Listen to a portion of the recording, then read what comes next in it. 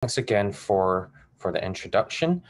Um, title of the talk today is, is called Relational Technology, uh, Community-Led Indigenous Language Reclamation and Revitalization. Um, just an overview of what I'll be talking about today. Um, I'll start with positionality and self-location, um, starting with myself. Um, and these are just leading into bigger questions about enacting relational technology, i.e. who are you and who's benefiting from technology in the process. Um, I'll then introduce the role of technology for Indigenous language revitalization and how that differs for dominant languages um, and the, the context for Indigenous languages and what that means. Um, I'll then focus in on digital and online technologies during the Web 1.0, 2.0, and 3.0 eras um, with some key takeaways from each.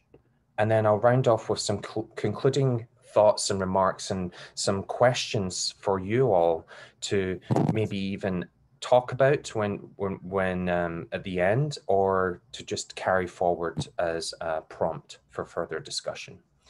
So uh, without further ado then, who am I? Is Paul Meachan Shiblo. Um, Mac, Paul Mac Angasina Dolik Anush Shalisbik Ikanush Ikion. Um, sé géal a hanam, luúgah agus hóca mí an an glasachu an an alabach agus sinneach ransaí a hanam an McGill University Montreal agus is má úr cáine chuig. So I introduced myself in uh, my language, uh, Scottish Gaelic. Um, my name is Paul Meighan Chiblo. Um, I introduced myself in relation to my my Gaelic family and community uh, from Dalibra in South Uist or Uist Jace, um, and my mother there, Paul Mac Angusina. So my mother's name is Angusina. I'm a Scottish Gael. I was born and raised in Glasgow, Scotland, and I'm a PhD candidate in educational studies at McGill University in Montreal. Um, and it's very nice to be talking with you all today. Um, so where am I? I'd like to take a moment to acknowledge the land where I'm delivering this virtual presentation, the plants, the water, the animals and spirits. For thousands of years, Toronto has been the traditional land and territory of many nations, including the Mississaugas of the Credit, the Anishinaabeg, the Chippewa, the Haudenosaunee and the Wendat peoples, and today is now home to many diverse First Nations, Inuit and Métis peoples.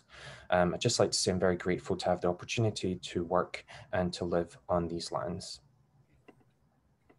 Um, some research reasons behind my research. Why am I doing this? Like I said in the, the introduction, um, who are you? Self-locating yourself and positioning yourself for any research work is crucial, particularly when we're talking about work with Indigenous and or minoritized communities. So in my own personal experience, um, like I mentioned before, I grew up in Glasgow, Scotland. Um, my language, Scottish Gaelic, was not available to me in the educational system. Um, however, I can speak Spanish, French, Italian uh, fluently um, from starting with those languages, I guess, in primary school and also living in those countries in Europe as well. I've, I've lived for a couple of years in Spain, a couple of years in Italy, Japan, now over here in Turtle Island. However, my language was not available to me, and members of my family recall being being beaten for speaking the language in school. Um, so that's a living memory, a tangible memory uh, as well. And since meeting and marrying my Anishinaabe Ojibwe husband, we met and married in 2015. We met in Glasgow. I've learned more about the harms of colonization on Indigenous peoples and Indigenous languages of Turtle Island, or what is now known as North and Central America.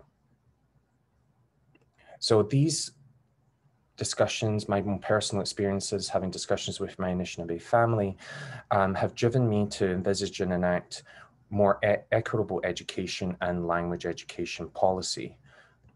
And my research focuses on Indigenous language revitalization and language educational policy. And more specifically, my doctoral work focuses on intersections between technology, Indigenous languages, and traditional ecological knowledge.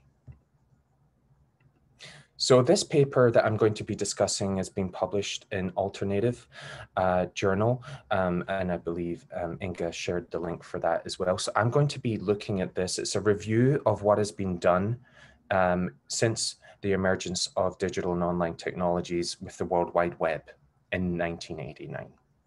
So an introduction, with the advance of dominant world colonial worldviews and colonial languages, indigenous languages continue to be threatened and endangered um, resources are limited uh, for indigenous languages. And what I mean, I don't mean resources as in uh, a very strict, limited sense.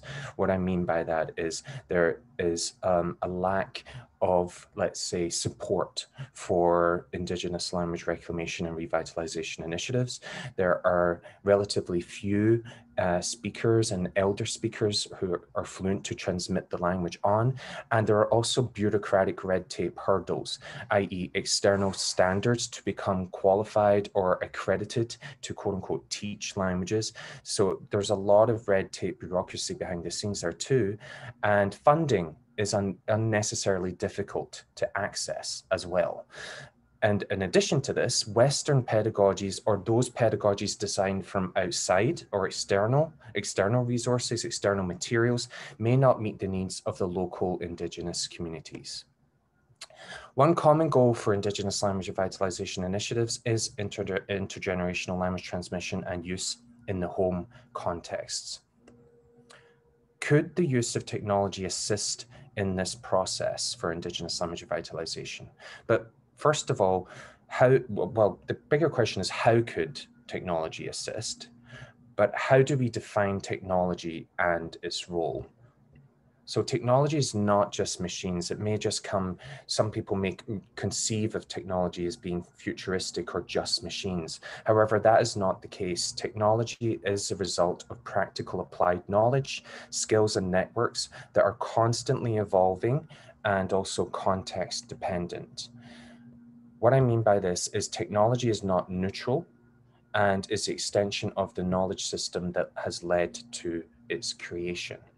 And some examples of this um, over centuries include writing systems such as pictographs, uh, the wampum belt, the pencil, mass media, television, and more recently, th this is the focus of the talk today, uh, online and digital technologies such as internet and cell phones. So like I mentioned before, a technology is an extension of a knowledge system or a belief system. A fundamental issue then to consider for the role of technology is which or whose knowledge system is actually being enacted. Who created the website? Who created the app? What is its purpose? How is the data being shared or stored online? And who is doing the quote unquote research?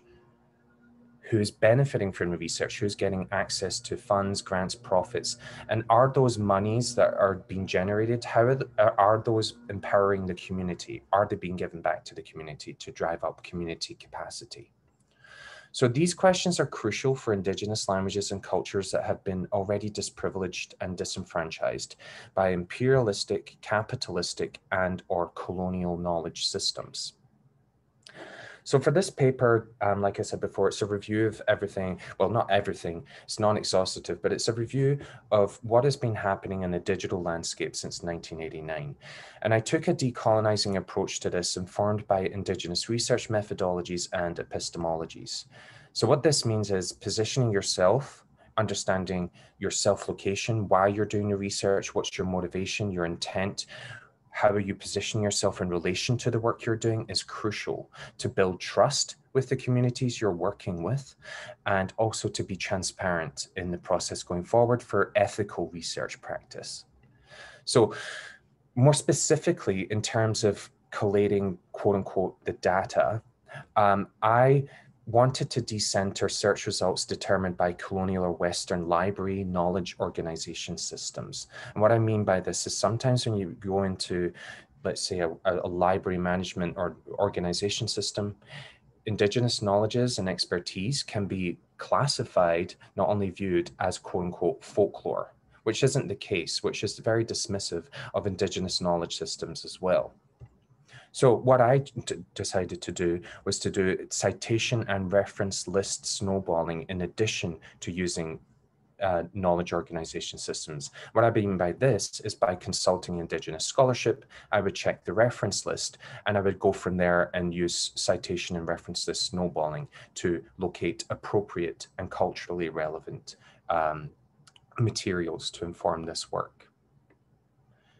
So here is a table from the manuscript that I mentioned, where I it's non-exhaustive, it's purely for illustrative purposes, but where I kind of give an overview of the types and stages of technology from facilitation to communication technologies, and then more recently, focus, sorry, more present day use of digital and online technologies. Um, and then, of course, looking at semantic technologies in the future. Um, I also wanted to focus in on the relationship between these types and stages and who is doing the work and how is it co-creation of knowledge? Uh, are the community members being involved? Um, and then some examples here.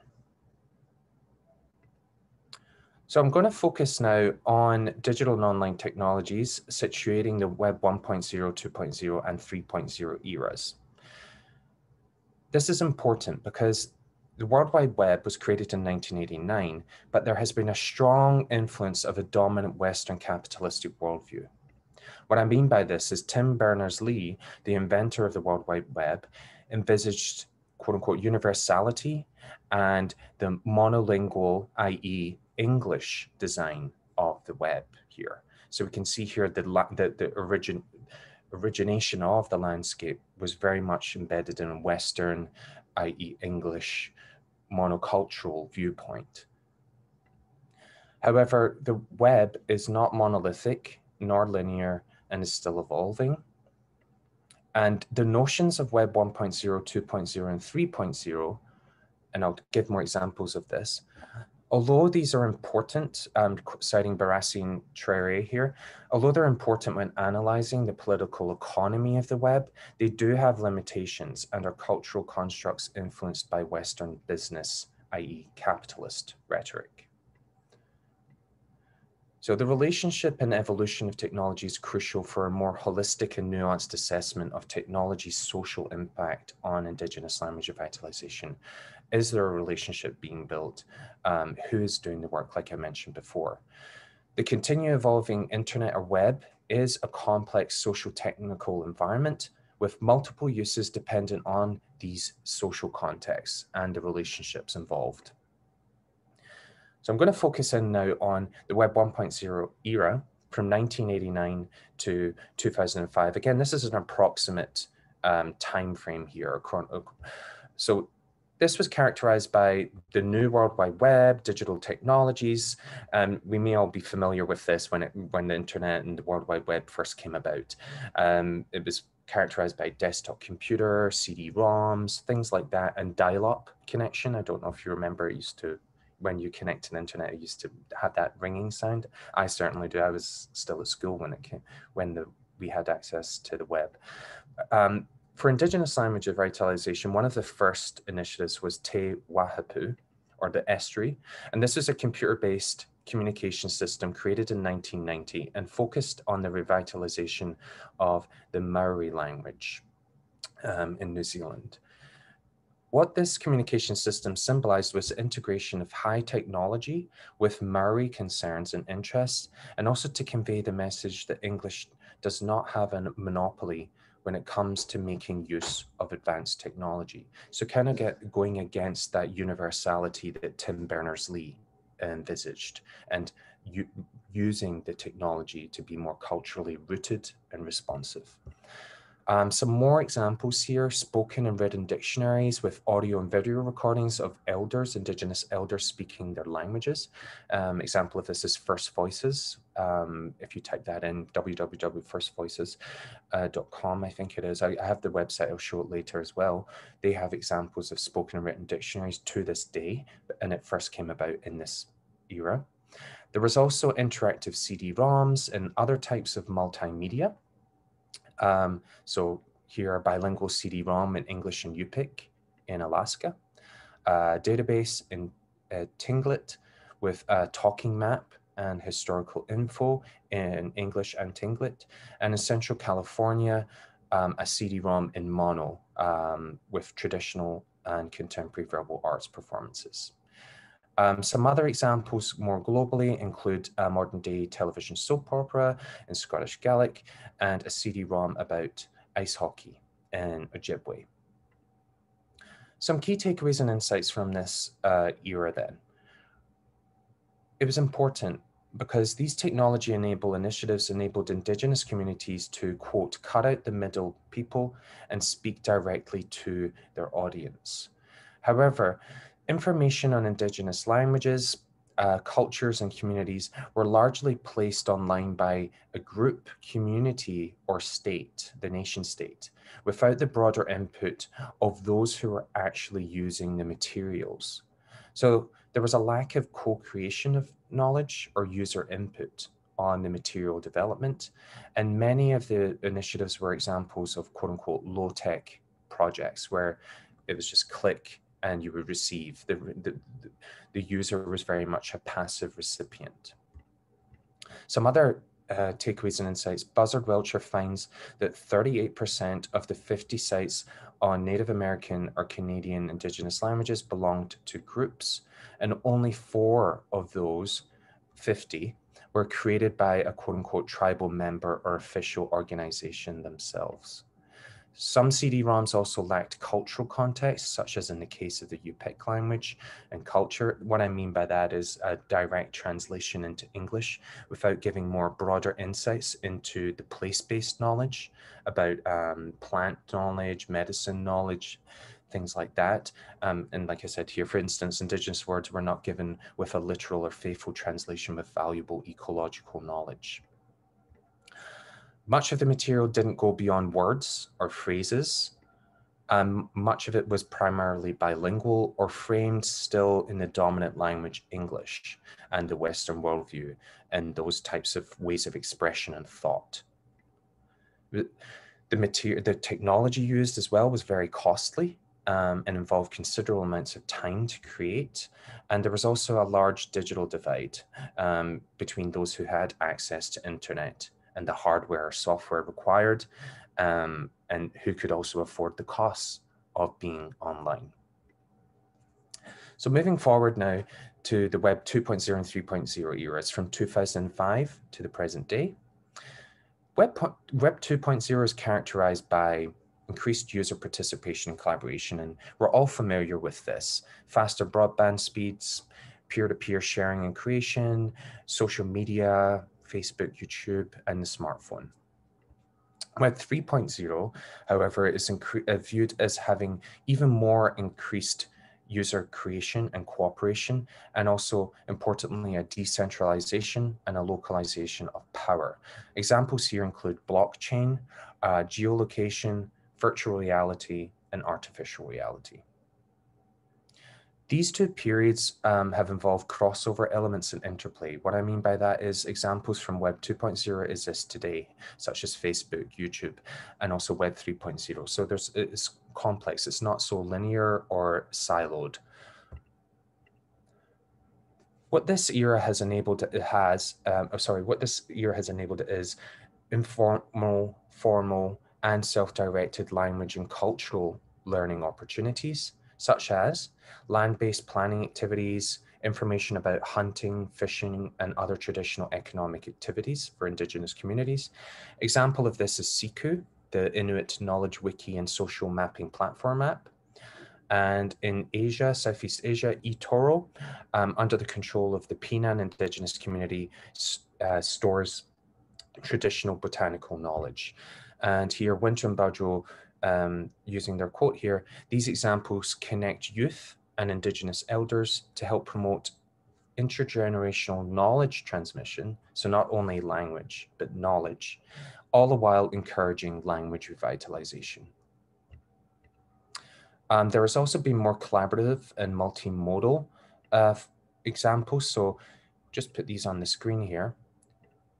Um, Mal Passamaquoddy Maliseet Language Portal, Kolbe Learn app, so many apps that have come about, um, uh, First Voices I mentioned before, they also have come up with a more recent keyboard app where you can type in over 100 Indigenous languages on any social media app. And all of these examples are low tech, mid tech, and high tech technology, depending on the community needs and the learning context. So key some some insights here starting to emerge. Indigenous communities have gone beyond just being recipients of information to also being collaborators or to being internet producers as well as creators. There has been more control and self-determination over the content produced and created. And this self-determination step is necessary to decolonize the digital landscape, move away from that universality, Western worldview, English dominated digital landscape to ensure that Indigenous voices, languages, and worldviews are also represented and privileged online in a culturally relevant way.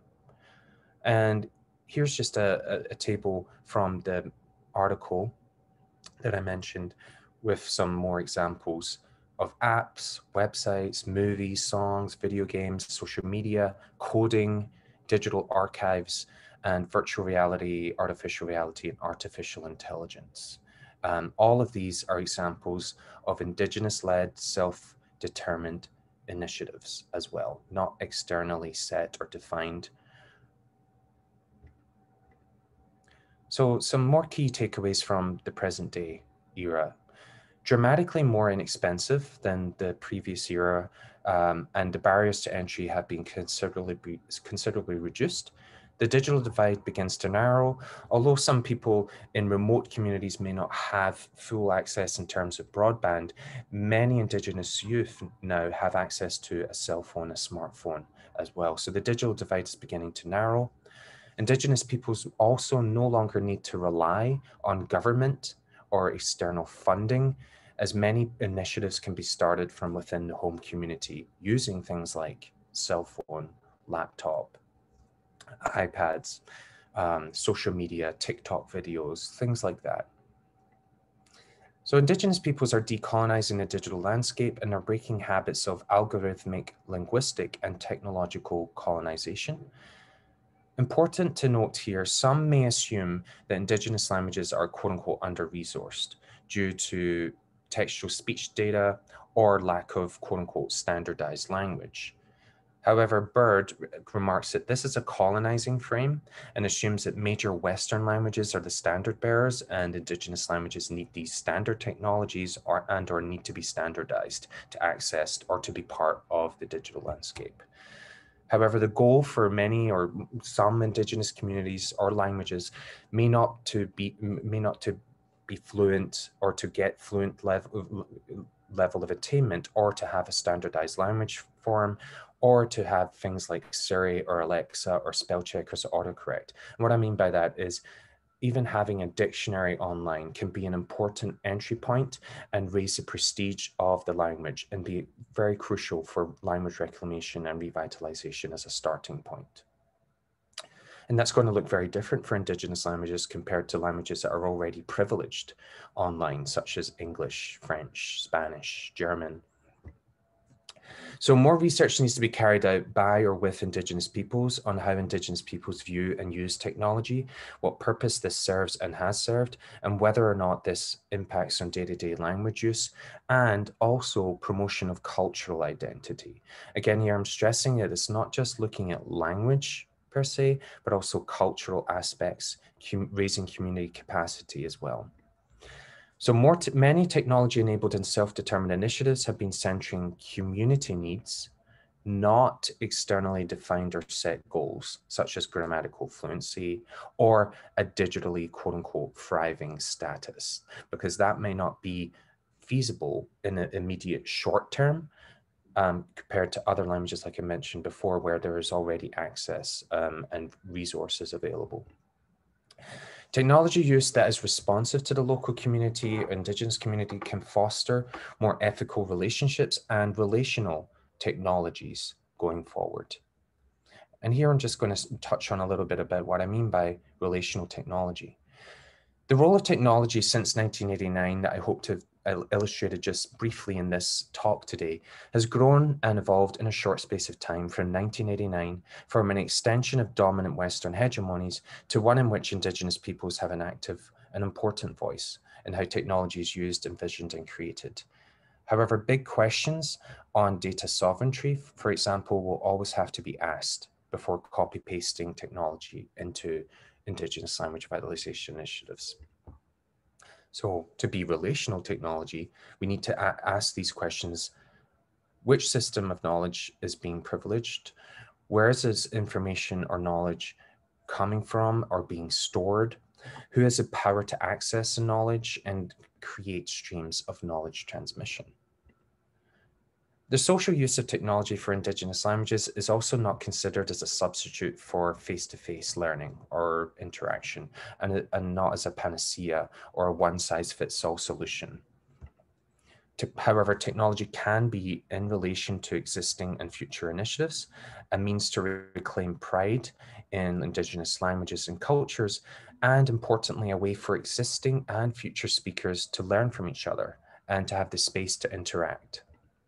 As with face-to-face -face interactions, the relationships that we all have with friends, family, or just new acquaintances, the intent behind that and the relationship that we build will determine what impact technologies present and future use will have.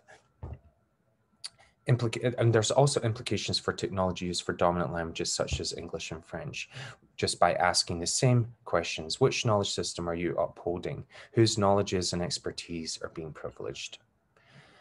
And just as I'll come towards the end of this talk, I'm just going to touch on an example of online community-led language reclamation using technology. This is from my doctoral work where um, I called this a technology pilot project.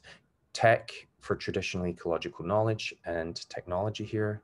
That's what technology stands for. And it's just some screenshots here of videos we created. So this is a indigenous elder here, Barbara Nolan, um, speaking in the language and interacting there. And we used emojis. Uh, it was fully immersive in Anishinaabemowin. So this work was carried out with my husband's community uh, here on Turtle Island, looking at how technology could be helpful in the revitalization and reclamation of Anishinaabemowin or Ojibwe. Um, and these videos are now hosted on YouTube um, for community members and um, wider community to access as well. And here's another screenshot here of interacting, having conversation with the dog uh, Fairy here. And Babitum, um, that's, um, let's give the dog a cookie, um, using emojis here to enforce and convey meaning through technology. So some concluding remarks here. Technology can be helpful for Indigenous language maintenance, reclamation, and revitalization. However, it's not a one-size-fits-all, quote-unquote, universal approach that needs to be taken. Local bottom-up perspectives need to be at, in the creation process and involved in the co-creation process alongside universal approaches. So what I mean by that is bottom-up and top-down approaches here there is still a digital divide as well. So that, that we also need to work on that and making and ensuring that Indigenous communities do have access to digital and online technologies. Um, and as I mentioned before, top-down support, governmental support, things like that needs to be informed by the community. And, and Indigenous languages cannot just be relegated to being quote unquote informal domains. There needs to be, it needs to be both. Um, here, I just want to stress the importance of Indigenous self-determination. Um, are the community asking for the technology? What are they asking for? And not going in assuming that technology is going to be, again, a one size fits all or a panacea. So we're looking at transferability, what could be applied, not generalizability here. So technology's role at every stage for relational technology needs to be decided and led by the community members themselves. And that is also to safeguard data sovereignty. Where is the data going to be stored? Who's going to get access to it? And this is to also to safeguard against extractive research and extractive researchers. So researchers who want to work with indigenous and minoritized communities to enable relational technology need to position themselves and self-locate themselves. Why are you working on this project? Why are you coming in here to a mar marginalized or minoritized community. So it's important to position as well to enable relational technology. Um, more another conclusion, a concluding remark here, the trans transmission of worldviews, indigenous knowledges and languages needs to be immersive and also in context. So the elder and the project that I just showed before stressed this as well, that the learning immersion is a way to go when we're looking at indigenous language revitalization. How can technology do that? And what I've been finding on my project is the use of emojis, the stickers have been helpful in conveying meaning, especially for younger learners who actually like these kind of interactive things as well.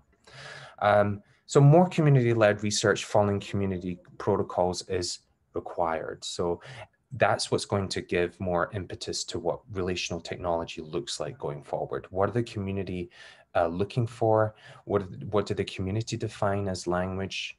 And what do the community define as relational technology? So conclusion here, some questions for you to carry forward, or we can even discuss a little bit today. I'm not sure how much time we have. What lens are you coming from in terms of looking at work using technology, language revitalization, indigenous languages, endangered languages, minority languages, min minoritized languages. What is your relationship with technology? Have you thought about it? What is that? Is that does that question seem strange, and why does it seem strange? What do you see yourself having a relationship with technology, or if, uh, so? That's another question here. And here, how is community expertise empowered through the use of technology? And those are just three questions for, for all of us here to ponder and to carry forward into the future. So Tapadh leibh, thank you in Gaelic, and Miigwech, thank you Anishinaabe for listening. Thank you so much, Paul. And I think as we went along some people have joined us sorry i'm going to stop the recording now so people can put the cameras on so uh,